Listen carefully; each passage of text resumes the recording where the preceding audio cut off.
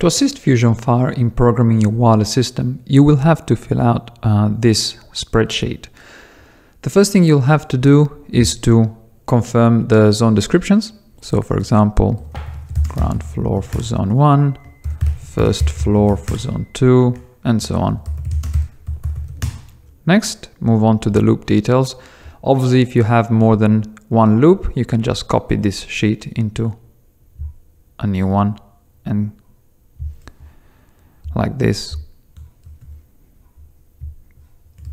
And this would be loop number two.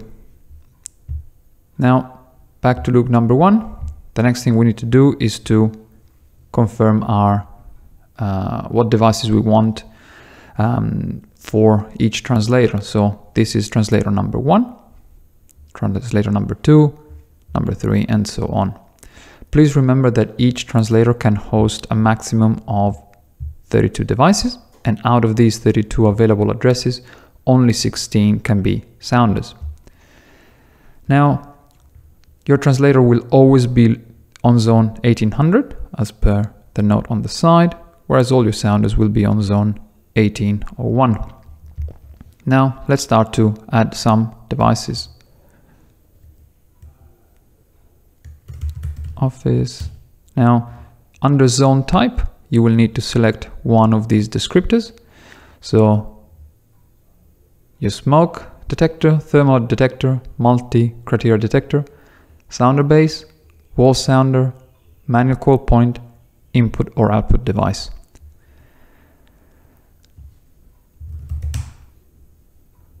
So this is our first device. On zone number one, which is ground floor, we have a smoke detector that is located in the office. Then we can have a couple of devices in zone number two.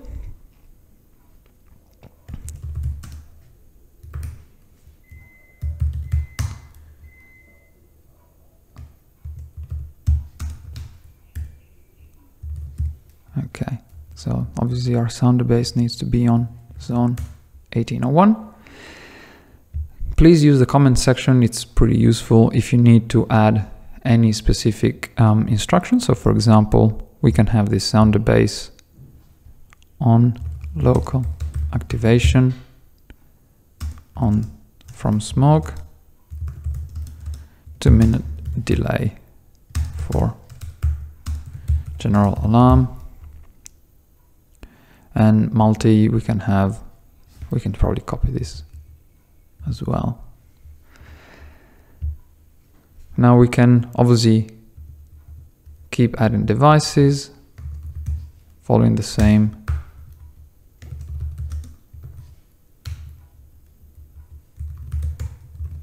procedure and um, just make sure that you have each device mapped uh, to the correct translator.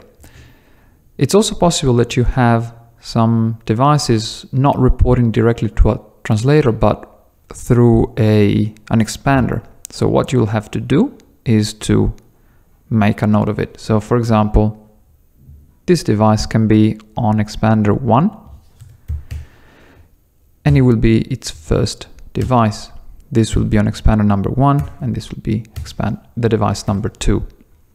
So oh, remember that the second uh, number here, it's what's called the child device um, address, meaning it's the second device to this particular um, expander. So expander one, device number two. So don't be, don't copy this description. Um, if you have a second expander,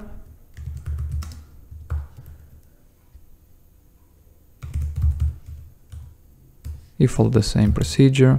Expander number two, device number one. And um, once you can confirm all these um, uh, all this information, Fusion Fire will be able to configure the system for you. Thank you.